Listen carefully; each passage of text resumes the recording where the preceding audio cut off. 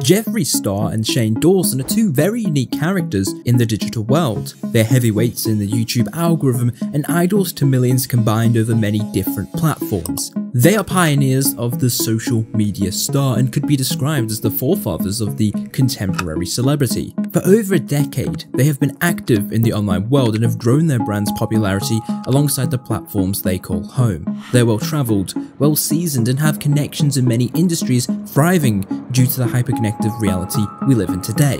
Their influence expands beyond the people who follow their everyday lives, which has allowed them to cultivate a dedicated following while being independent of the need for that support Understandably then, if they were to find themselves embroiled in some sort of controversy, pretty much everyone would know about it. The nature of these two men has often made this the case, as they were both built on some form of controversial image and became successful because they tend to invite trouble. So it comes as no surprise they have found themselves in hot water again, as they are at the centre of one of the most significant controversies YouTube has ever witnessed, and even more, credited with its creation. And I allowed myself to be worked by Shane, Jeffree, and others. This video dropped at the time Shane was already receiving heat for his past actions, so it's no surprise he's remained silent since then. Oh my god! Jeffree, on the other hand, waited 18 days to make any sort of response, and when he did it was calm, calculated, and effectively diverted the attention away from him. And right now, outside of our walls, our world is falling apart. His return to Twitter was rather chilling, posting as if nothing had happened and downplaying the decision by Morphe Cosmetics to disband any partnership they had with him and his makeup company. However, this isn't surprising. It's a common theme for Jeffree. He's become the master of subverting criticism and shifting narratives. He's seemingly invincible to being completely eviscerated from his platform of power, and it's something that needs investigating thoroughly to understand. Because when it comes to longevity, there is an anomaly with Shane and Jeffree, and as analogies go, they are like cockroaches in a nuclear fallout. The number of controversial things they have done, the lack of accountability they have taken, as well as the fact the scale of the backlash they have received would destroy anyone else's reputation, they have survived so much. Jeffree seems to have evaded entirely any responsibility for his recent shenanigans, the jury is still out on Shane, but historically, they have managed to survive so far in a climate that should altogether reject what they represent. So how have they managed to keep such a dedicated and unwavering following? How have they been able to dodge responsibility with subpar apology videos? What is the deal with their relationship and what is the actual reason behind its formation? These are some of the questions we will be asking over the next three parts and hopefully, come the end of the series, we will have provided enough context to be able to achieve a comprehensive profile of what Jeffree Star and Shane Dawson represent in this digital world. So, join myself and Bill Hello. as we begin this journey from the beginning, through the past and into the present, as we investigate Jeffree Star and Shane Dawson.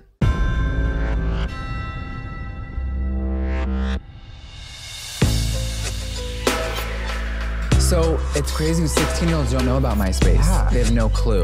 I'm tired of everyone talking shit. Everyone thinks they can get away with it. But in reality, that Glock in my car might need to be put to use. And I never know how far to take stuff or how can I joke with kids that way? I don't know. I'm telling you, this kid's gonna do it. He's gonna do it. Jeffree Star. Uh, this video is not me defending myself. This video is me apologizing because I understand why some people think that. I said really horrible, vicious things back to people to hurt them. Jeffree had texted me a few minutes prior, and I opened my phone to this. You need the internet taken away from you. You are a danger to society. I have had an insane, crazy past, and all the stuff that I said I will be sorry for until the day I die.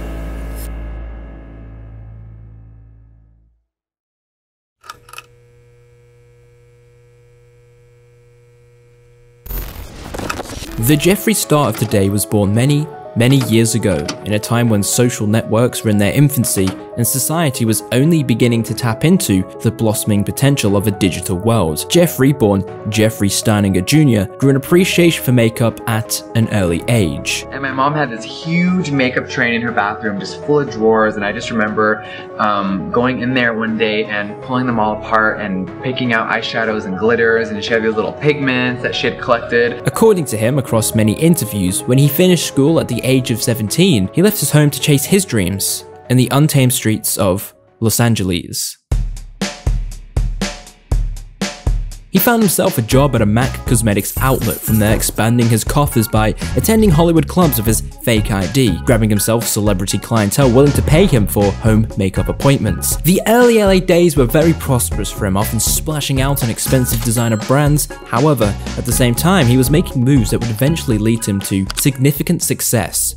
Jeffree's early adventures in the digital world consisted of various forum-style websites which are the ancestors of the contemporary social media we all engage with today. In a few interviews, Jeffree mentioned several early websites he had used, the most interesting being one called FaceTheJury.com. The site allows users to post images of themselves and have other users rate them. Apparently, he had been using the site since 99, but the earliest I could find any existence of an account he had was in 2002. Appropriately named Cunt, he had a picture of himself wearing an all white aesthetic, rocking the white hair and outfit. His About Me is intriguing, well, everything about it is. Yeah, this was of course one of the many sites he had used in his early internet days, but the real journey he would embark on began in October of 2003. MySpace. It's something that many of the older viewers may fondly remember, and those born within the new millennium probably have never heard of. In short, it was a precursor for most social media platforms and was wildly popular during the noughties, and it was also the site that Jeffree would soon become very popular on. Through 2004 and into 2005, there's not much to really show for his activity on MySpace. There's the activity for Face the Jury, but more interestingly is his activity on another website called Melodramatic. Here is a blog post of Lipstick Nazi, a splash page for an upcoming LiveJournal profile he was going to release.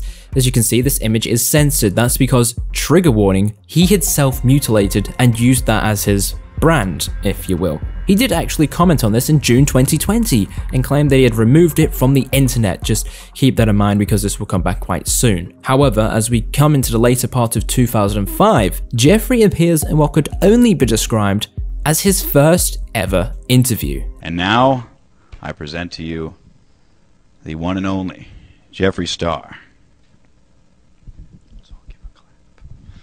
Welcome to Oral Salvation.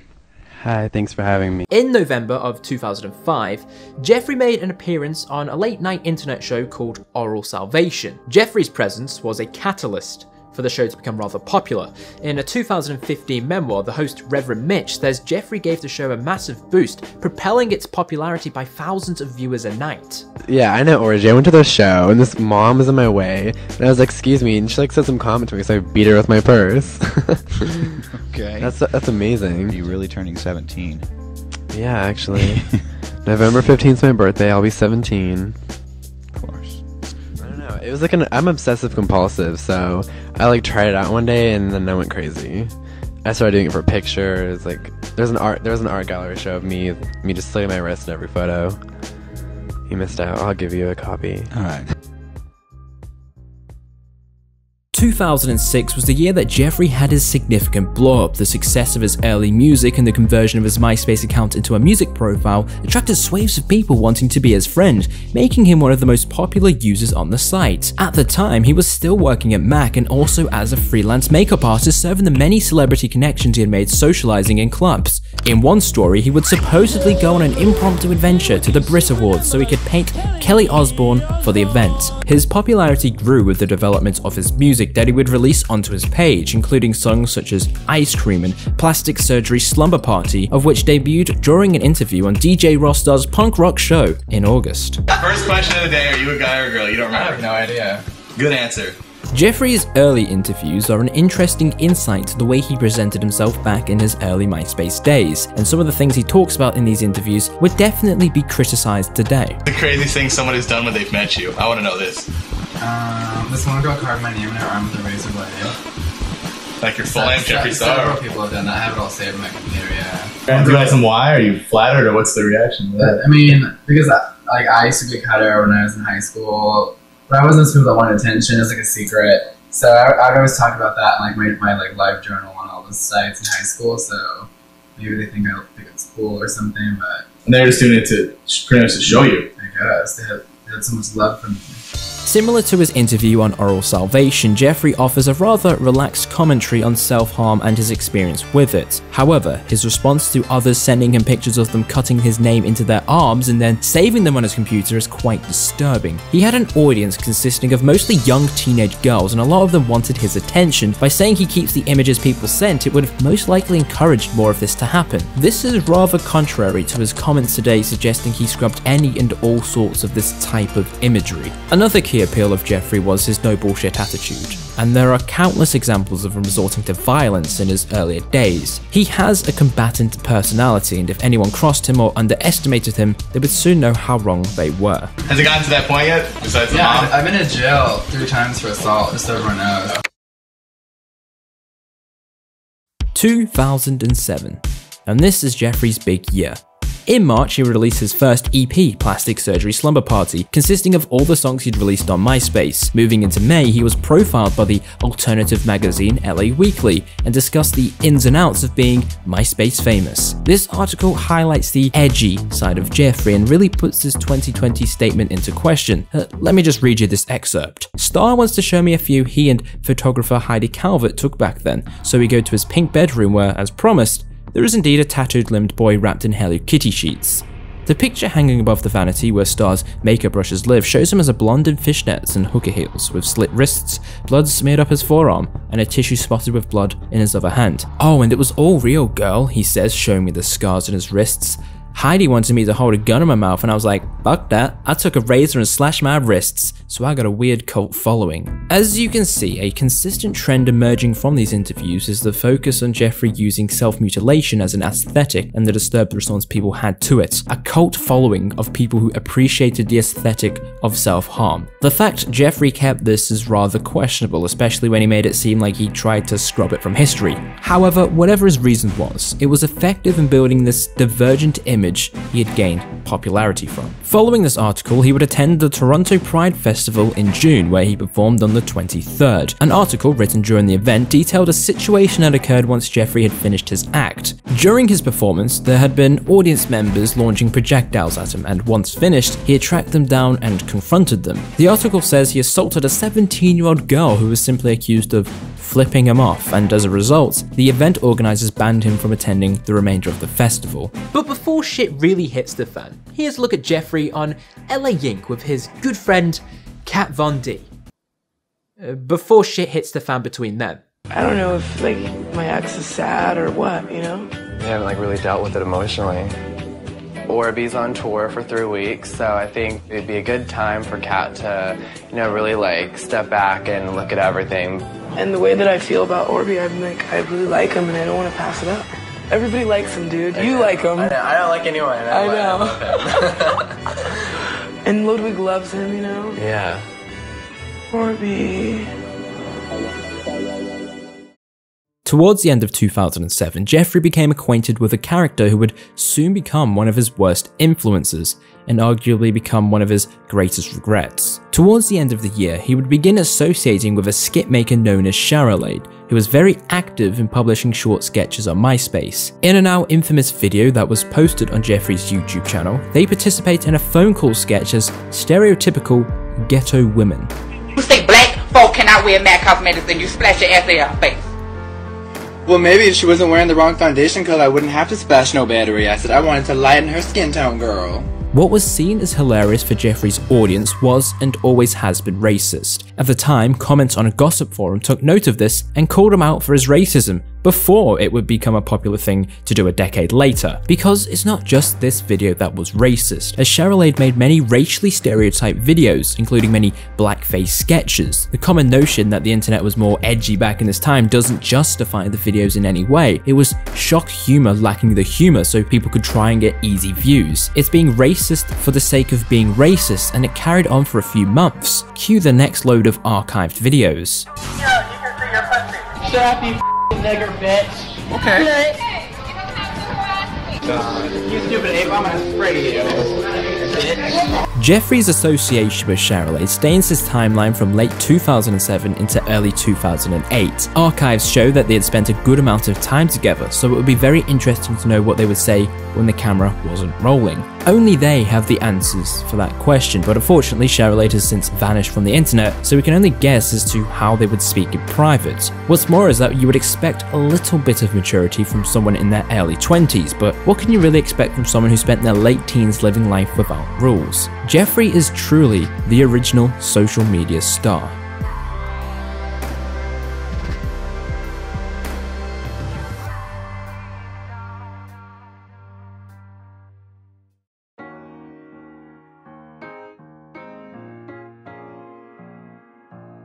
Jeffree's next adventure will take him around the world. Building on the success of his MySpace music and his large dedicated following, he will begin to focus on his career as a musician.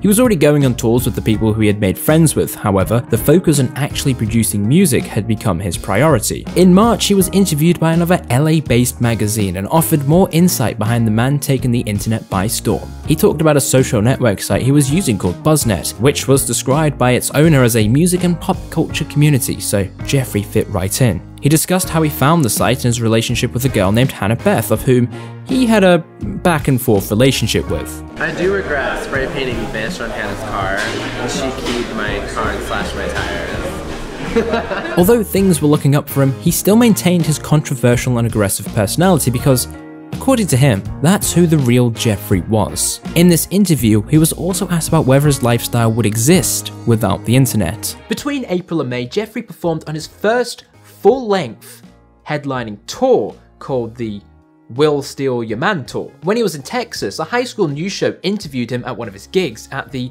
White Rabbits in San Antonio. I'm here with Queen of the Internet and soon to be Queen of the World, Jeffree Star, who is current hey everyone. Who is currently on the J Star Will Steal Your Man tour with uh, Breathe Carolina, Dr. Manhattan, and the Schoolyard Heroes. Yep. Awesome. So uh, Jeffree, tell us about a little bit about the tour. Has it been awesome so far? A lot of fun. Yeah, I've never really done like a full length tour, so I was kind of nervous. I was like, ooh, how am I gonna get ready every day? But it's been so much fun. We've had crazy moments on the tour. Two days ago in Houston, I got to mace someone on camera. my, my fantasy was complete. Awesome. 2008 also saw Jeffree start his own record label. As of August 27, he had founded Popsicle Records, which a few months later would be used to release his new EP, Cupcakes Taste Like Violence. Following the registration of his business in September, according to Jeffree, he was arrested at the Hollywood Burbank airport for what I assume was possession of some sort of weapon. This was in a blog post from the time. He said he was given a weapons felony charge and was released on bail for $20,000. Unfortunately, due to geographical disadvantages and the restrictions surrounding California arrest records, I cannot verify the many occasions where Jeffree has supposedly been charged, so it may just be him trying to make himself look a little bit more interesting. Again, if we want to verify this, it's really down to whether he wants to dig out the receipts. 2009 was another big year. Jeffree dropped his first and only album, Beauty Killer, in September, and a few months before, he was on the Vans Warped Tour, which he called a massive success. Hi, hi, dude, that's me. Oh, yeah, that's it, baby. However, as with all things Jeffree, there were controversial incidents that happened during the tour. In a clip that would resurface many years later, Jeffree is seen assaulting one of the tour's crew members. How was your show? I missed you. I missed you. How was your show? You're not, you're not nice to me. I knew it was big. I fucking knew it. The man who Jeffree and his friend inappropriately touched showed clear signs of discomfort, and that's not okay. Even if it's not assault, it's still sexual harassment, which is becoming a very important topic for discussion now as many people are coming out and accusing him of doing the exact same thing around the same time. As well, if the person who they had touched was indeed a part of the crew, then it's highly unprofessional of Jeffree to do so. But of course, shit happens. There's not a lot we can do now other than reflect on it, understand the issues with it, and hold him accountable for his actions. Quickly dipping from 2009, the start of the next decade saw Jeffree head on a world tour. To promote his new album, featuring the band's Brokencyde and their infamous Blood on the Dance Floor. From an interview with a music website in May of 2010, Jeffree detailed what it was like being on tour and the difficulties he faced with the personnel he had with him. The common irk facing Jeffree was the short life of many band members due to their preference towards alcohol and being unable to control their behavior with it. As is evident, Jeffree is still one with the character he was in his early days. However, in the time he has been in a somewhat serious profession, he's grown to make moral decisions based on the impact they have on his time and patience. The businessman Jeffree is so ruthless. He can handle you if you run down the street and call people racial slurs and sexist insults, or he can handle you if he can punch you in the face. But please, for the love of everything, no alcohol. Except when it's funny to make fun of people who are passed out. Get it out, girl. Get it out. That's hard. Now that, that passes the vibe check. In this interview, he also discussed the band he was currently traveling with and had this to say about them. Well, the drummer doesn't drink. The guitar player is cool. I fired my keyboard player after Europe. He threw up everywhere one night and was like, blacked out drunk. He started shaving his pubic hair in front of 14 year olds with his dick out. That's disgusting and obviously illegal, so he had to go. I couldn't deal with that anymore. Well, of course, when someone fronts a child indecently exposing themselves to said child, you would very much hope that you don't associate with that person anymore. Which is interesting because after his tour concluded and they had then embarked on the Looking Hot and Dangerous tour, he released a tweet saying the lead vocalist of Blood on the Dance Floor, Dahvie Vanity, had done illegal acts with minors, claiming he was no longer going to associate with them anymore. However, it's rather convenient for him to make noise after the fact they had finished touring because pockets outweigh the need to distance yourself from predators. Gotta get that bread. Okay, but wait a minute. After this call out, Jeffree retracted his statements a year later, and then went ahead and continued associating with this person who had been accused by multiple young girls of being a predator. In fact, he would even go as far as working with the group yet again, as you can see from this footage during the 2012 Warped Tour. It's impossible to understand the rationale during this time because it's all very hush hush and not many people really understood what was going on. But the fact Jeffree went from publicly exposing Vanity as a predator to then backtracking on that a year later just so he could go tour with them again is rather peculiar and opens up a lot of questions for later on in the series. So we'll just stick to the timeline. Now, other than the slight inconveniences with people who shouldn't be allowed within 500 meters of a school, 2010 was pretty wild for Jeffree. He had a pretty awesome cameo in a Friend remake of Kesha's Take It Off. And he was also signed by Akon's label Konvict Muzik, the same label that had found Lady Gaga and pretty much turned her into an instant star. In fact, two years later, this is what Akon himself had to say. So, is there anybody new that you guys coming up that we should be looking forward to that you could tell us right now? Well, a lot of people always wonder, they be like, well, after doing something like Gaga, like, what's next? Like, can he do it again?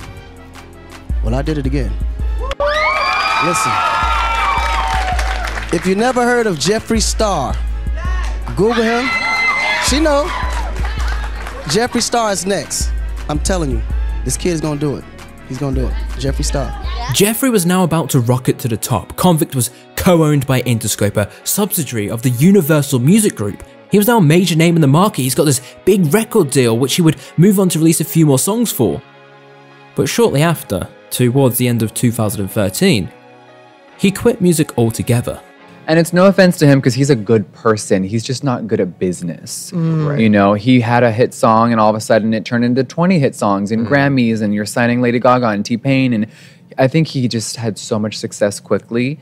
You know, he, he was never a business person. Right, right, right. He was a street, you know, like trapper that got success. So um, he didn't really know how to handle me. He thought he knew what he was doing, but, um, you know, he was kind of going down a dark path when I signed on, but I didn't know that. The Akon fallout ended Jeffree's music career before it could truly take off, and at the same time, the legacy of the MySpace powerhouse would inevitably trickle away into a distant memory. In over a decade, Jeffree had risen from a vocal, divergent teen making his name on small, early networking sites to being the personal makeup artist of Hollywood elites. He grew a small, scattered following into a large, dedicated audience, being regarded as one of the most popular names on MySpace in its prime. He used that audience to build a music career and for seven years grew in popularity and notoriety. And now that's all over.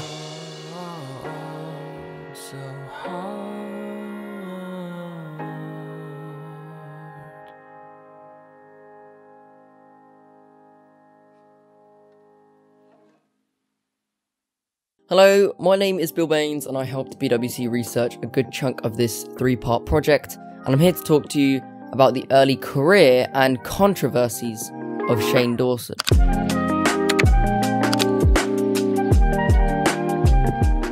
Now, Shane would start his channel all the way back in 2008, producing comedy sketches including stereotypical, exaggerated, and blackface characters. In an era where being edgy was attractive to marginalized young people, the internet was kind of a hub of racist, homophobic, and transphobic content, some for malicious purposes, some just because people wanted to have a laugh. By 2010, he had half a billion views and was one of the first YouTubers to gain that much popularity, says one blog post by Jessica Schwartz, which can be widely attributed to his offensive comedy style. From 2008 to 2010, Shane would play at least 26 separate characters in a string of videos, including celebrities such as Randy Jackson, Simon Cowell, and Barack Obama. In 2010, Shane would be named in the top 25 most famous internet celebrities, with Forbes writing he's become an online comedy idol and over 1.2 million people subscribe to his YouTube channel.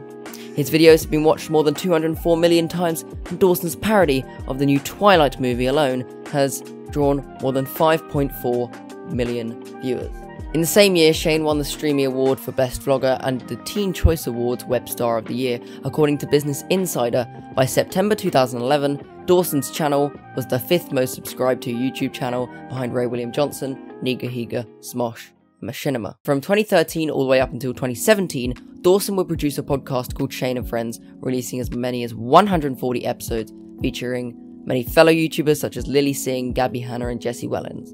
We'll get into that a little bit later. He also directed and starred in the 93 minute comedy film Not Cool, which was released in 2014 with a budget of $800,000. It would draw in just $36,000 from the box office. One critic wrote, Not Cool is a cautionary tale of how being able to make YouTube videos that go viral does not necessarily make someone a filmmaker whilst another user stated that they didn't laugh throughout the entire movie, but laughed when they looked up the box office and budget statistics. In 2015 and 2016, Dawson released two books, I Hate My Selfie and It Gets Worse, a collection of essays, which at the time would be the number one debut week book sales for any YouTube star. Hey It's Millie is a channel developed by the Fine Bros in association with Dawson, who, according to Wikitubia, features a character who is uh, eight years old. She often makes sexual remarks, advances, and comments towards Dawson's character, who is clearly a lot older, and it is referenced that these are inappropriate jokes to be making.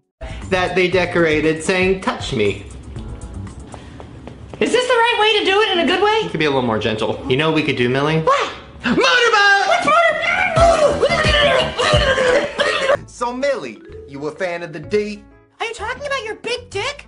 What does dick mean? What? No! I was talking about D like Deezy. Man, where did you learn how to talk like that? From watching Selena Gomez. Selena Gomez. Yeah, and iCarly. She's so cool and attractive. I love the way her hair flows down her back and brushes over her tight ass. Oh, that shit's so hot. And you know her and her butch friend experiment. I mean, wouldn't you, Deezy? Oh, oh, and her newly developed breast. They're speaking to me. They're saying, hey, hey, Millie, do you want to suck on us? Ooh. Hey, hey, hey, Shane? Well, is it wrong to touch yourself in the nether regions? Hmm? Hmm? Shane? um, Shane? Shane, can I, ask, can, I, can I ask you a question, Shane? What? Shane, will you fuck me? um, Shane, Shane, wait, follow-up question? What? What? What does fucking mean? Shane? Is fucking bad? Why don't you, uh, why don't you touch yourself a little bit?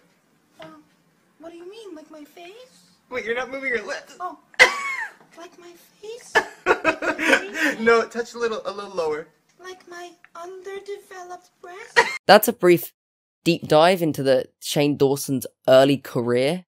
I'll return later to talk about the controversies, but for now, back to BWC.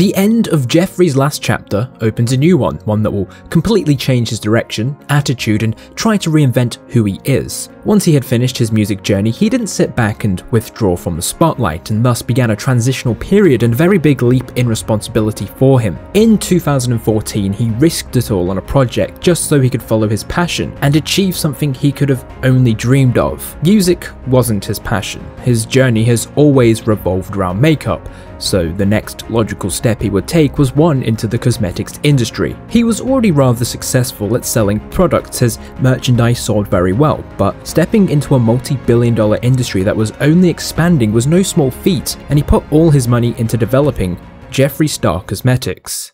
The company was officially registered in California on the 25th of August 2014, and he would release his first line of lipsticks in November of the same year. A popular story Jeffree likes to tell is that he is self-made, that he invested everything to build himself up from nothing. He even beefed with a 10-year-old Mason Disick earlier this year after the kid called him spoilt. Because Jeffree Star is like spoiled AF. Wait, let me. Oh, whoa. I almost just spilt hummus everywhere. James is like very nice. However, I think his rags to riches story is a little bit of an exaggeration. The company was founded with another person, and their name is Ashley Avildsen. What I didn't know until I had a look is that Ash is quite well of himself and owns the Sumerian Records label, which represents a variety of progressive type bands and artists. He was listed as a managing member when the company was founded, so I don't think it's too far of a reach to assume that he made investment for a stake in the company. The business relationship here is also rather interesting, because at some point within his music career, Jeffree would have met Ash and they would have struck together some sort of connection.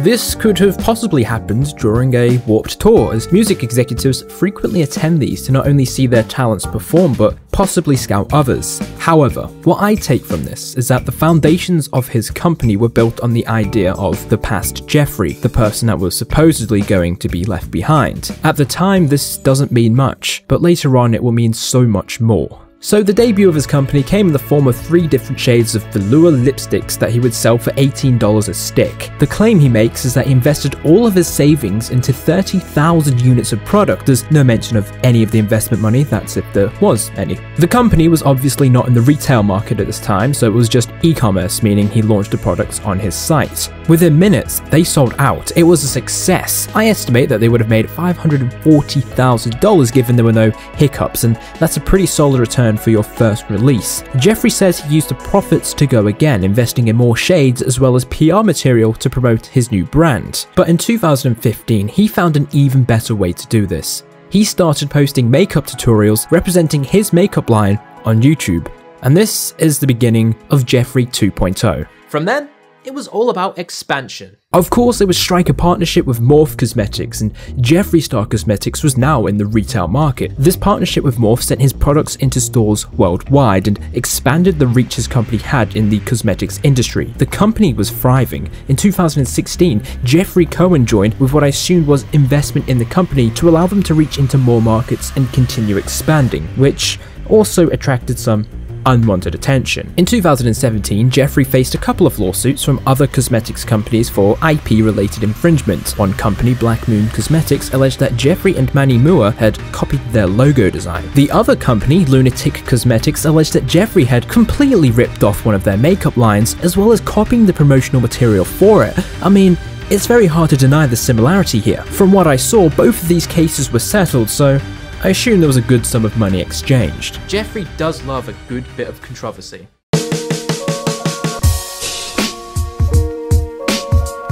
Welcome back. Now, over the years on YouTube, Shane Dawson has been called out time and again for his old videos, particularly in 2014, where he was criticised for racism, blackface, and offensive videos from just a few years prior. In an apology from that year, Dawson explains his use of blackface to play celebrities such as Chris Brown, Wendy Williams, and Will Smith, claiming he was ignorant to the history of blackface. He says he isn't racist and that he was just uneducated on the subject, saying that he used blackface to maintain the aesthetic integrity of the characters.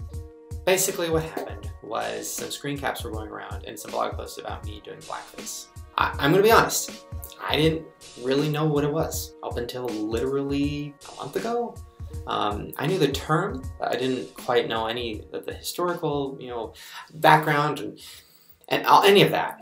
Um, I just knew in my head, I was like, that's not what I'm doing because what I'm doing is I'm playing Wendy Williams, which a lot of the screen caps that are going around are of me playing Wendy Williams and me playing Raven-Symoné and Chris Brown stuff.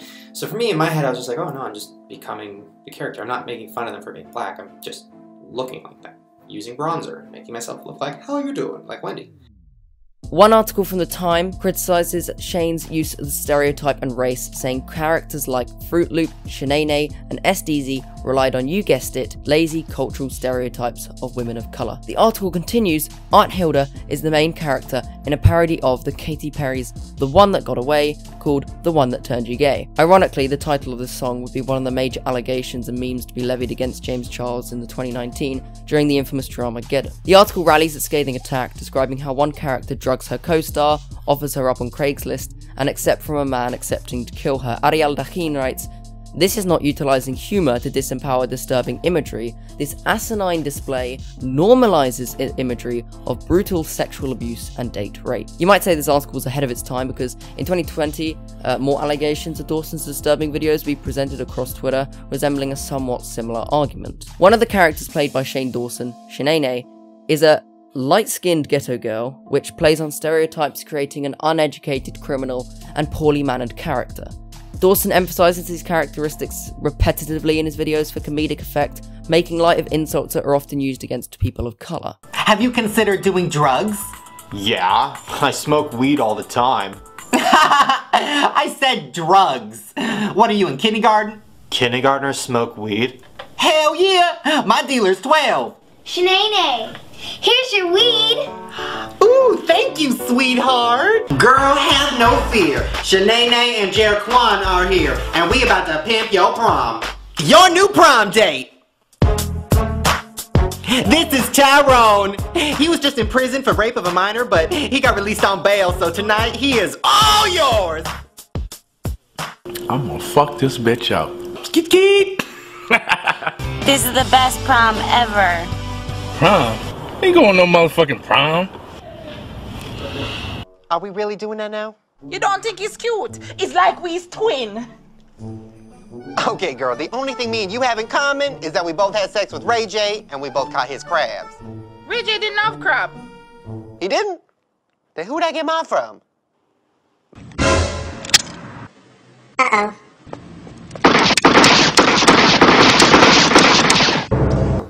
Ding. What are you doing? No. No!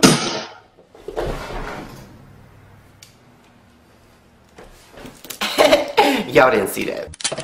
Whoa! That reminds me of the thing that my dad used to shove in my mouth when I was three. Mm, mm, memories.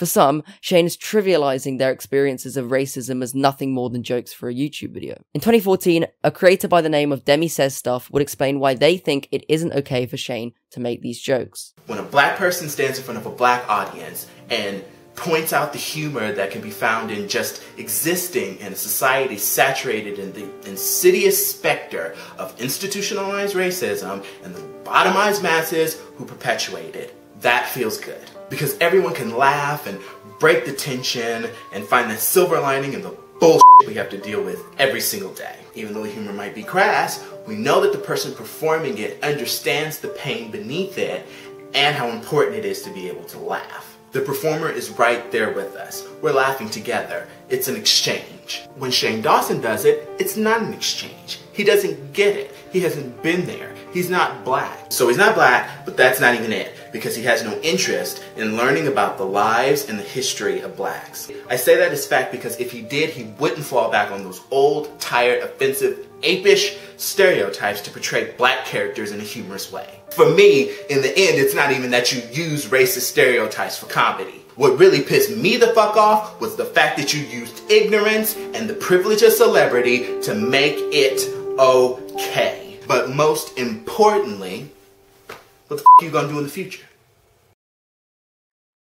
Blackface was used by white people before it was socially acceptable for people of colour to do acting, to portray themselves as a person of colour, often playing into racial stereotypes at the time. It was used for a long time to substantiate the criminalization of African Americans in order to discourage the African American rights movement. Uh, this means that in particular areas of the world, this practice was used to oppress people of colour from gaining equal rights and getting social change. Whilst playing characters, he has said the N word, most notably calling fellow creator Shannon Malcolm monkey and the N word as part of a video.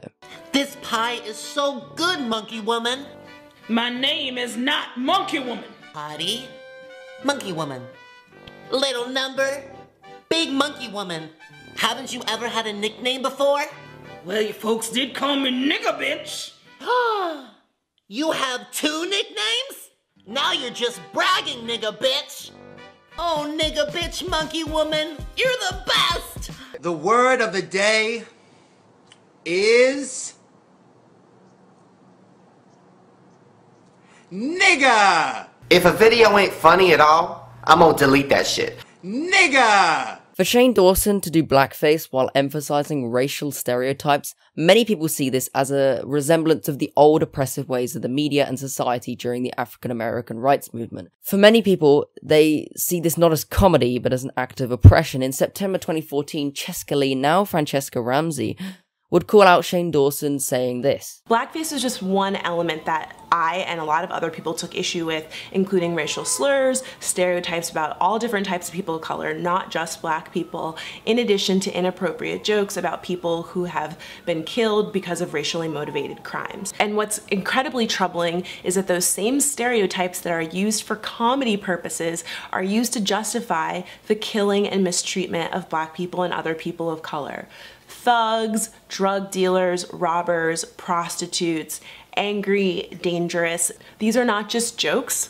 Words mean things, especially when you have an audience of millions, not hundreds, not thousands, millions of impressionable young people that don't understand the power of these words and don't understand the institution of racism at all for that matter. During the more recent cancellation of Shane Dawson in 2020, Jaden Smith, son of Will Smith, called out the creator for doing blackface, saying, As a youth, we need to support creators who support us and our morals. One of the most notable videos circulating online is footage of Shane Dawson imitating masturbation in front of a poster of what was an 11 year old Willow Smith, the daughter of actor Will Smith. Following this video going viral, Jaden Smith slammed Dawson saying, I'm disgusted by you. Sexualizing an 11 year old girl is the furthest thing from funny. Then joined by Willow's mother saying, I'm done with the excuses. Another couple of clips have surfaced where Dawson talks about underage celebrities in a sexual manner, talking about a 16 year old Justin Bieber doing pornography and making inappropriate comments about Rebecca Black's breasts. Alright, on Twitter I asked you guys if Justin Bieber decided to be a porn star, what would his porn star name be? Here are some of my personal favorites. Justin Beaver. Just in Queefer, Just in My Mouth, and Thrusting Beaver. And there was even some ideas for porn movie titles, and I can't decide which one is my favorite. I'd tap it one time, or One Less Lonely Asshole. what do you think, Justin? Which one do you like? I like them both. You know what, Justin? How about we make both? What do you think? yeah. Perfect, JB. I'll be over soon. Who's Rebecca Black? Are you fucking kidding me? You fuck. If I had a gun, like that guy back there. You mean that little girl you met in the video that your mom introduced you to? with the huge tits, yes, Oh yeah. her. She's like 11 teen, right? if Rebecca Black was drunk, and then he said, "I live for your Rebecca Black obsession," and I said, "I know, Queen." And then they were talking about something, and then I sent them this picture. That's me with the spit coming out of my lips. A large creator back in the day was Fred is Dead, who in the upcoming clip was apparently underage. I have a kind of a good story, I think, about him. So, okay, it was like five years ago. I haven't even talked to him about this. It was like five years ago, and he followed me on Twitter, and he's like, "Oh, I saw your Fred is Dead video." I'm like, "Oh, cool, whatever." And then he goes, "So, do you want to like talk on AIM?" I didn't have an AIM, Uh-huh. but I said yes, and I made one. And then he started, we started talking, and I was maybe 19, and he was probably like, honestly, like 15, I don't know. Uh-huh. And um, he was just like, "Yeah, you live in LA." I'm like, "Yeah." He's like, "Where?" And I was like, "North Hollywood." He's like, "Oh, I'm here right now. I'm like at a hotel." And I'm like, "Oh," and he's like, "Yeah, we should like hang out." It was like one in the morning. I was like. Oh, Mm. and then I was like, "Oh, isn't that kind of weird?" Though, and he goes, "He's like, no, it's cool. It's just my sister, and she's cool with anything. She's asleep." I was like, what's happening? So I told my mom, who was like watching Nancy Grace, I was like, Mom, I think Fred is trying to fuck me. And my mom's like, I'll drive. And, and I was like, yeah, okay, that YouTube Monty. Um, so then, so then I was just like setting up them hangout. And then I said something. I made like a really, really gross joke about like blowing him or Uh-huh. something because I thought it was going there. Right. And then he blocked me. And blocked me on Twitter. Whoa. Blocked me on everything. Wow. Deleted every tweet he had sent me. And I was just like, I went too far. Wow. we never talked about it. And then I met him three years later and it was cool. And now it's like this weird thing where we're friends, but I want to be like, were you trying to fuck me? Yeah. Also, were you like, were you trying to get, catch a predator? Like, what was happening? Yeah, what was going on? I don't know. Various other videos uh, would surface of Shane Dawson making sexual comments around his 12 year old cousin. A one minute clip from Primink would gain almost a million views, showing Shane talking about periods, intercourse, and oral sex with a visibly uncomfortable child. Wait, Lucy, let's get real. That's so embarrassing. We want to know. We have a question. What is it? Very important question. And you don't need to feel shy about it. No, you really. you It's natural. It's natural. Is there anybody around? No. It's natural for a girl at your age. Yeah. So we want to talk to you. We want to explain what sex is to you. We did get Yeah. really quiet. I Oh, where's the other peep? We should oh, probably Oh yeah, we'll just use we'll use peeps. Okay, well one peep and then we'll use you. Oh. Okay, so I'll just pretend like that's you know. I mean that works. Lucy, this happens. See, oh, Ah. And then and then you're so happy when you're an adult. I can't believe I'm endorsing this. Look what you've turned me into. so so Lucy, does that make sense? Can you reenact it for us? But Lucy, listen, you should be in love and you should preferably be married and hopefully not have any kids. Okay. And you should definitely be over the age of like 24, 25. And he should put a ring on it. And he should put a ring on it. dick ring on it. No, I'm kidding. No, you don't know what that is. You shouldn't know what that is. Okay. Now, are you on your period right now? Stop it. What? I'm trying to get answers. No. How old are you? I'm not gonna give you anything. So close. How old are you? I'm 12. She's this on her is, feels period, very. right? No, what? Are you? No, you're not on your period. You bleed. No. Now listen. You have a boyfriend, right? Yeah. Now, what did I tell you? When he says, "Can I put it in?" You say, No. "Good." High five, girlfriend. Now, when he now when he says, "What about just in your mouth?" You say, No. "No." You say I bite.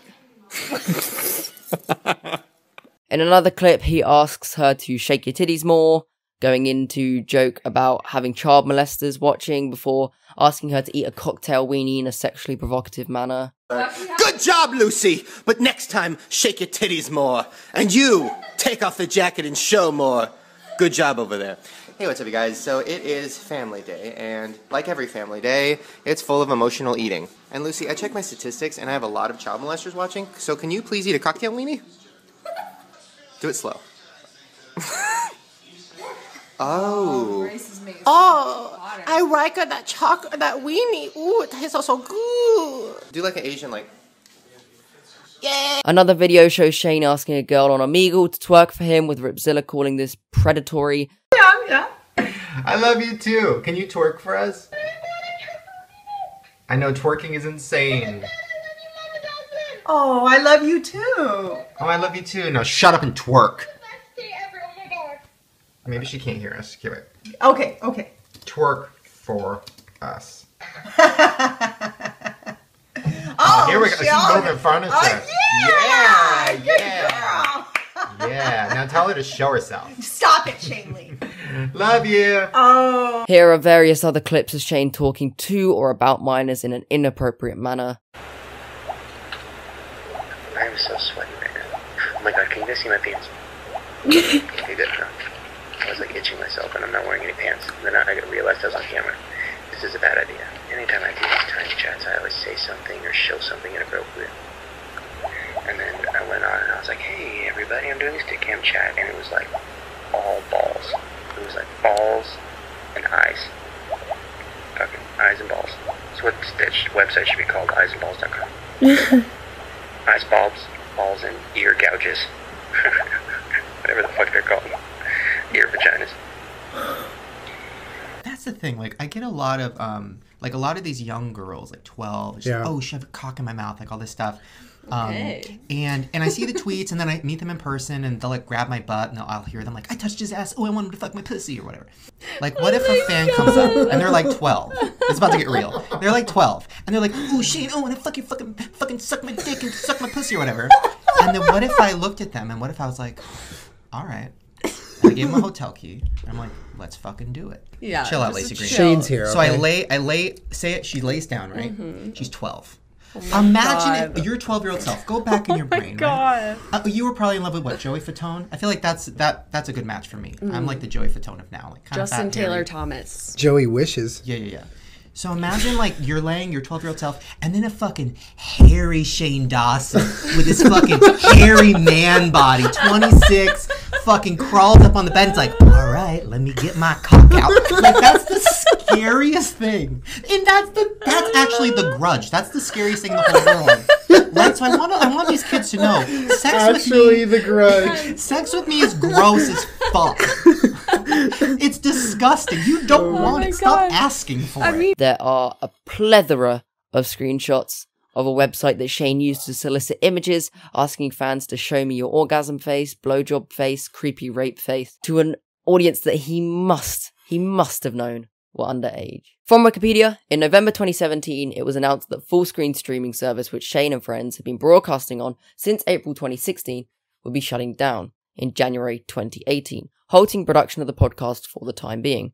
In March of 2019, after controversies surrounding Dawson's remarks in certain podcast episodes, all past episodes of the podcast were deleted from iTunes and SoundCloud, though many unofficial copies of the audio can be found online.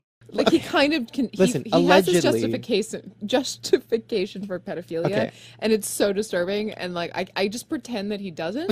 Okay, wait, no, like, no. Let me explain. Let me explain. Oh, God. Here's my justification for pedophilia. I can't. Okay, first of all, let me just say, having sex with children or touching children or anything of that nature is terrible, and Sure. you should not do it. But but, but here's my thing: people have foot fetishes. People have fetishes about you know everything. And there's websites on the internet where they can look at that weird, creepy shit and jerk off to it. Okay, fine. Everybody do your thing. So why is it when somebody looks at a, Google's like naked baby on Google and jerks off to it, they can get arrested? I don't Because- understand. that. because there's a naked ba- because they had to because somebody took a picture of a naked baby. But and I they mean- don't. And then by the way, they're not googling naked baby. They're googling like. I'm not gonna say what they're googling. to Google and I'm like, oh, oh god, I want to see. You're gonna I don't get wanna- arrested. I know, but I didn't want to see child porn. But I just wanted to see like, okay, let me just pretend. Let me pretend like I'm a pedophile for a sec. Okay, by the way, just for the record, police, I have nothing to do with this. I didn't know this. Like, you can literally get arrested for saying I saying. know. Listen, let me let me finish. So I typed in naked baby. First of all, I don't understand why anybody would be turned on by that. But That's the first good thing you said. but they were sexy. I'm kidding. Okay, back to the Instagram. Um, so I look at this. Hi. Uh, I wanted to play that clip in full. I mean, that moment especially in full. Just for context. Because that seems to be missing nowadays. I cannot believe that I am having to make this video. I cannot believe that this is happening. I. I'm gonna start by saying I am not a fucking pedophile. I, Shane Yaw, my real name, go on record saying I am not a fucking pedophile. Got it? Great. Here's my statement. Is everybody saying, Shane, make a statement. There's my statement. I'm not a fucking pedophile. It's disgusting that people are saying I'm a fucking pedophile because of some shitty ass fucking jokes from six years ago on a podcast. Hello, uh, Future Bill here, um, to give my thoughts, my final thoughts on uh, Shane Dawson's early career and controversies. I don't think Shane is actually a bad person. I think that his intent with his jokes is an important thing to think about. I think that they were pure, and I think that his intent was to make people laugh. Um, and obviously, comedy is subjective, and I'm sure there are people that laughed at them, otherwise, he wouldn't have the fan base that he still has. But personally, uh, I find some of the jokes that he made extremely inappropriate, um, especially the ones uh, around around minors. Um, I, think that some of the actions and comments that he has made around minors is is extremely inappropriate. Having said that, I don't think that he is a predator. Not all the arguments in this video that I've presented are my own, um, but I hope that I've been able to provide an alternative point of view. Thank you for watching. I uh, I hope you've enjoyed. Um, I think you should definitely buy the uh, BWC merch. It's great. There's there's mugs and stuff. It's it's awesome. Um, you can find me on Twitter at Bill Baines underscore and on YouTube at Baines on Toast. I just gotta cut it there. I don't care. It's no secret Jeffree tried to disassociate with his past self when he built his new company.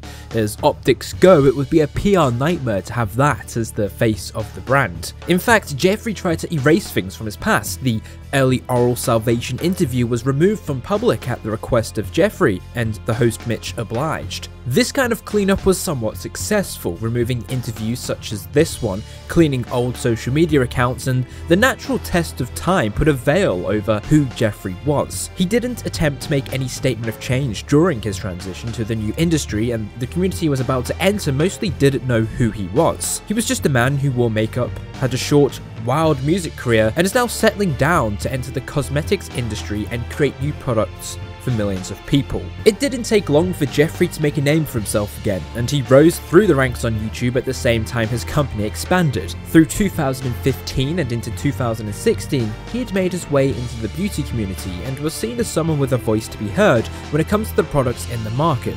However, this also represented an issue for Jeffree, which would soon come back to bite him, and that is his aggressive personality and controversial nature. In April of 2016, Kylie Jenner released a new lip gloss which Jeffree had picked up. However, Jeffree received a faulty product and so he publicly criticized her for a lack of quality control and shared tweets that other people had put out of their experience. This resulted in Kylie apologizing and a company replacing all of the faulty products at no extra fee. A month after, he was interviewed and had some words to say. You made a huge statement when you criticized Kylie's lip gloss. Did you ever end up talking to her or did she reach out to you? If the product didn't suck, I wouldn't have anything to say. I was just being honest and I had no idea it was going to get so big. I was just giving my honest review. She tweeted me some half-assed response like, I care about the industry too, with a heart, and I was like, you didn't address anything I said. Typical. Editorial note, her exact tweet was, I have the same passion. Do you think she spent enough time researching the formulas for all her lip products? No. I can only say no without you finishing the sentence. No. She found a lab that makes a $5 formula and they're called ColourPop. Editorial note, this is a common theory, though it's never been officially confirmed or denied. She has been seen on social media in the lab with the founder of ColourPop. They gave her the same exact one with her name on it and charged $20 more. I'm bored. Ha ha ha ha ha. The criticism of the product was fair. There was a severe and systematic issue with the release of it. However, to then go ahead and speculate how her entire range is formulated and its value is just throwing around accusations with no substance. Which, of course, is something he will very much be exposed for in quite literally the same month he said this in the interview. I don't even know where to begin. This is Rocky Roadkill. He's actually a fan of Jeffree, and in May he went to DragCon in LA to see Jeffy Boy and also pick up an early access release of Jeffree's new Skin Frost highlighters. He also has a YouTube channel focused on makeup, so as all makeup YouTubers do, he goes ahead to review the new product. But there's one issue. His product is faulty. And right when I picked it up, just to look at myself, it fell out and fucking broke into thousands of pieces. Although upset, he does mention that he liked the product and had already contacted customer service to receive a replacement for it. It was a positive, albeit rather emotional opinion on the product, but Jeffree didn't see it that way.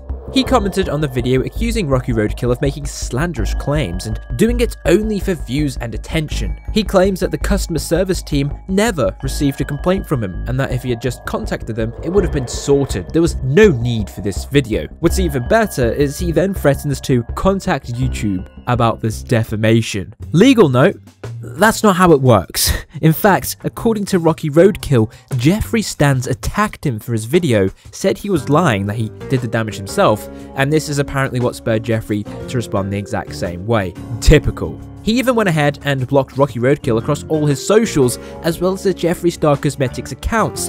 That is the response of a petulant manchild. But it just gets worse for Jeffree. Come the time the product actually released, would you believe it that other people started to report the exact same issues with their products? He shipped out his um, Skin Frost and everyone received their packages and a bunch of people had broken highlighters just like me. Jeffree had a month prior criticised Kylie for defective products, and then went ahead and also threw more shade in an interview the month later. But when someone raises concerns about his products, it's the end of the world, and Rocky Roadkill was only doing this for attention. The projection is unreal. However, after people started making noise, Jeffree responded, not in a tweet, not in a video, but in the comments of Rocky Roadkill's video. Although he did later release a video reading his comments after he deleted it because of harassment. Basically, Jeffree's response was a comment taking absolutely no responsibilities for his actions and blaming other people for influencing them. It also exposed Jeffree's lack of quality assurance, not checking the products when they left his warehouse, something that should always happen, and again, taking no responsibility. Although this was a slightly different circumstance, it was extremely hypocritical of Jeffree to go ahead and accuse Rocky of lying and responding so poorly to the criticism when he had literally just done the exact same to Kylie. Not a good look, and it wasn't until Jeffree's shit staring would come back to cause him problems, as yet another month later, he found himself in more trouble. At this point, people were starting to realise who Jeffree was, and all of the things that he'd done in the past that would raise questions about the ethics of supporting his brand. Just as his company was entering a critical stage of its progression, a respected beauty YouTuber released a review of his products that would unleash a firestorm that would test Jeffree and his brand. Today's video is my review on the Jeffree Star Beauty Killer palette as well as the Skin Frost. At the end of this video, I'm going to discuss my feelings on this brand as a whole, as well as touch on some recent controversies and past controversies. It may not matter to some people, but it matters to me who I buy from and support, and I know it does matter to some other people as well. In the video, Stephanie Nicole pulls up certain issues she has with Jeffree, and it includes links to things from Jeffree's earlier days as seen before. The impact was felt by Jeffree as people started to question him and his nature, leading to another character from his past speaking up and joining in on the party. Kat Von D, the tattoo artist and a longtime friend of Jeffree, released a statement on Instagram distancing herself from Jeffree. She then released a 14 minute YouTube expose covering how she thinks he's a douchebag, as well as revealing that he had not paid her friend BJ Betts for the concept designs he had created for Jeffree's brand's logo. But like, you can see like different variations of the star and then like if you um, like zoom in on this one in particular, where you see it was a J and then an S, and then you see this little circular thing around this side here. These this was the preliminary sketch for the logo that Jeffree uses now, and uh, as you could tell, it was a J and an S before. Jeffree responded rather swiftly, branding her video as lies and propaganda on Snapchat. She responded with a tweet saying he was lying, stating that he had reached out to BJ only an hour after her video. He then clapped back with a screenshot of their messages, then he dropped the video. Hey everyone, so today's video is a really hard one for me to make. I have sat here for, we're on day two now since Kat posted her video about me. So he says he had finally paid Betts, however his excuse was that he didn't pay at the time because he couldn't afford to. But this is far from the point because he didn't actually pay anyone else to create the designs. The person who eventually vectorized his designs said himself that he was hired just to vectorize the concepts that Jeffree gave to him. The concepts made by BJ were far too similar to the final design for it to be a coincidence, so Jeffree somewhere along the line made the conscious decision to use these designs and not attempt to reimburse the person who had created it. This is blatant after the fact because when he was called out on this, he quickly acted to settle the issue in private, ending the short feud for the time being. However, he still holds a resentment towards her for this. Even though me and that dumb whore aren't friends anymore, I still Yeah. appreciate her artwork. Oh my god. Oh, Is that like hard for you to look at her artwork on your body forever and you're no, like, I mean, dumb when you're friends with someone for 10 years, you have so many amazing memories. Um, you know, and she got jealous and weird and tried to backstab me in front of the internet and failed, and I'm still here. One consideration from this conflict is that the original issue started because of another creator's personal rejection of Jeffree as a person due to his past actions, and this had led to him bleeding subscribers. The Kat Von D feud was a side piece to this drama, yet it took the main spotlight and effectively nullified the criticism levied at Jeffree for his past. He didn't respond to Stephanie Nicole, and once he had clapped back with Kat Von D, the attention towards his racist comments and discriminatory behaviour seemingly dissipated, which was soon going to come back and cause much more grief. But before then, he would continue feuding and causing controversy. Like in January of 2017, when a customer of Jeffree Star Cosmetics posted a photo on Twitter of, just wait for it, a skin frost highlight with a hair in it. Of course, makeup is not supposed to have any foreign material contained in it, just ask Jaclyn Hill about that, so rightfully they complained to customer service. It took more than 24 hours for a response, but it took minutes for an Instagram post to catch the attention and make them offer a refund. This time discrepancy is a valid criticism of the company. However, Jeffree doesn't like criticism, blocking the customer and then subtweeting them in the replies of a fan's tweet. What's worse is that the tweet he replied to was making the accusation that this person was lying about the product, saying it was fake, and then Jeffree willfully accepted this accusation and slighted the girl who just wanted hairless makeup. So of course they didn't enjoy that and tweeted out his response, which caught a lot of people's attention. So he resorted to accusing her of bullying him and then blocked her. A bit soft. Later in April, he would go and find himself in more controversy by releasing an expose on another cosmetics company, Too Faced. He released a video revealing the truth about the industry and how a lot of the time creators make significantly less than the brand does in collaborations. Um, like I recently just exposed the whole Too Faced NikkieTutorials thing where she really only got 50k um, to do this huge collab with the brand and they were in Sephora and Ulta and they made, you know, like 10 million dollars off of her and she got nothing. So she made about 25k and Too Faced made 10 million. It's horrible. That's horrible. And a lot of people in the makeup like behind the scenes are like so devastated and horrified that I exposed it, but I think that the audience in YouTube and all these I mean, we're talking about millions of views now. This isn't some little thing we're doing, you know, where 10 people are watching. It's like if you're invested into this world and you know everything and you're supporting all these brands, you should know who you're supporting. Mm. Doubt and they're very obviously they're angry because the truth is exposed. Right. Um, and you know, instead of making a statement, they decided to just shade me and start liking all these comments on Instagram calling me ugly and I'm like, the What?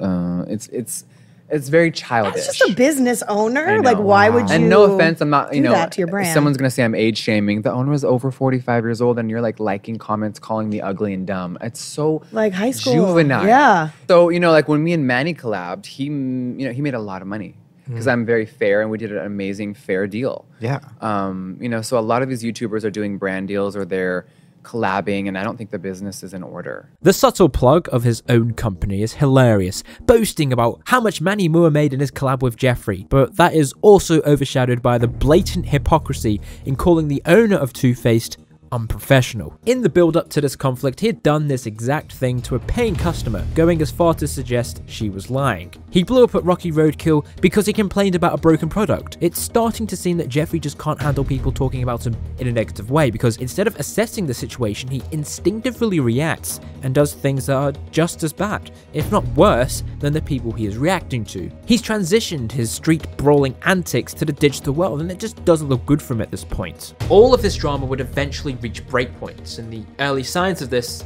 appeared in April. I am not buying Jeffree Star cosmetics, at least not anytime soon. Manny and Jeffree's collab was very tempting. I love me some Manny MUA and the bundle itself looked bomb. This actually started about a year ago, a year and a half ago when I had snapped about seeing some Jeffree Star cosmetics on Chocolate Girls. I had seen no swatches and this was obviously a very popular brand and I got tons of feedback from you guys basically concerned and basically saying, you know, read into some of Jeffree's past. I'm not trying to make this open season on anybody.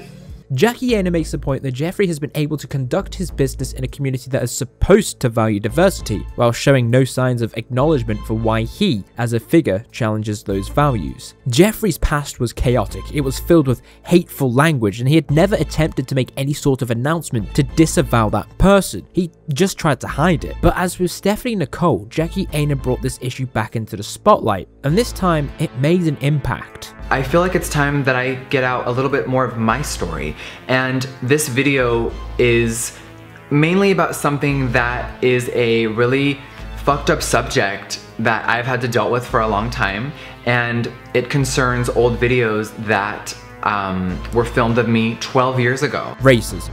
A 15 minute long video in response to clips that resurfaced. Contrary to the title, the video does not discuss racism. Jeffree was responding to the claims that he was racist, however, instead of taking accountability for the past use of derogatory language, racial stereotyping, and toxicity, of which is not referenced in the video, Jeffree disavowed his past self. He is adamant that he is not that person.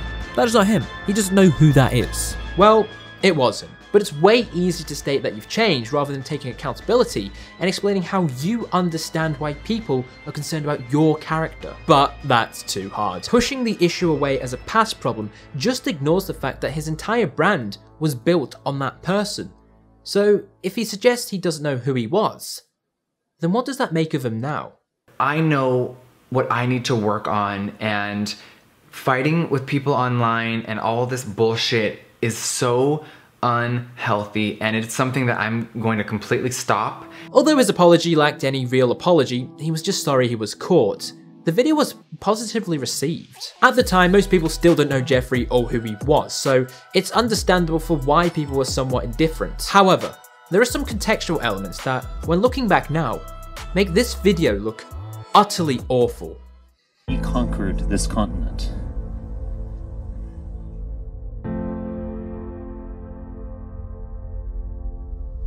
One people, one nation, and immigration! 2017 was a very heated year when it comes to political extremism, as there was a white nationalist movement brewing in the States. When you look at the hate white nationalists have for people of colour, it's rather jarring for Jeffree to release a video titled Racism, and for him to use that just to excuse himself because he had done all of that in the past. Keeping in mind these are just the things that were made public, we have no idea what he had done or said in private. It was a weekend of street battles and stark displays of racism, exploding into a deadly act of domestic terror. In Charlottesville, Virginia, a white nationalist rally that descended into deadly violence and chaos. It wasn't until August that the Unite the Right movement reached its boiling point, resulting in the murder of a protester. So for Jeffree to drop his video within this time period without making any effort to show some idea of what racism looks like makes the attempt at clearing his name so poor, and his image was put on strings, which was truly tested the same month. It's a pretty familiar story. Jeffree criticizes another person for the quality of their product, and then this person responds saying that they'll do better. However, there was a difference. People were calling Jeffree out, so Kim jumped to his defense. And guys, I see that my fans are totally hating on someone like Jeffree Star for being, you know, honest about my struggle swatches. guys, like, and I see you being Should so stop right here. bringing up things in his past where he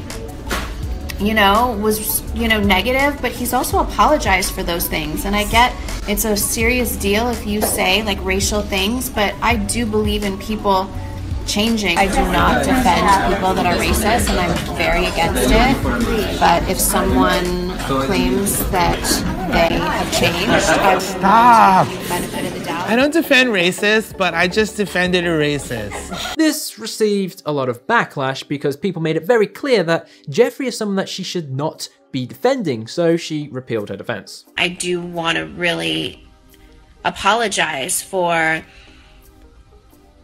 me feeling like I had the right to say get over it in a situation that involves racism and I just don't really feel like I have the right to speak on that and I really really really am sorry and I just from the bottom of my heart I was and I've always been about just like Oh positivity God. and I've never just been a Oh negative person God, so my whole thing positivity. was like hey guys I don't want to see negativity in my time. Could you imagine being in a room with her and Kanye talking like oh, this? It was at this point that Jeffree had arguably received his biggest blow. People were starting to talk about Jeffree, his past, and questioning whether he'd really changed. With the short time he'd spent rising through YouTube ranks, he had always found himself in some sort of controversy that simultaneously sculpted and damaged his brand. On one hand, he is a successful entrepreneur who had supposedly risked it all to fulfill his dreams, and he creates a reliable product that allows other people to practice what they enjoy. However, on the other hand, he represents a figure of deception,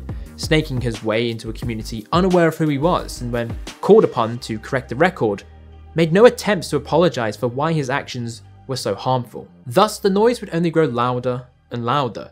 The foundations had started to crumble. He needed to find a way out, and soon. So he calls on a friend.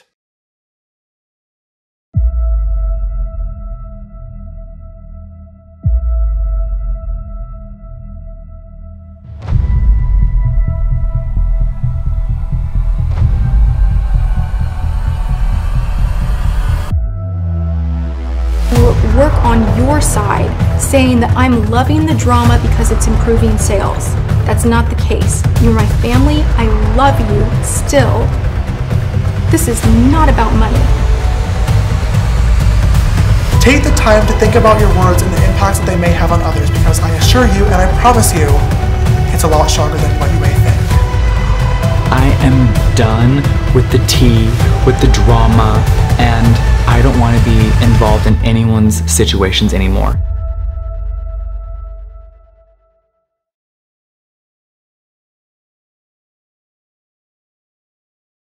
The sky was falling and why you make it so hard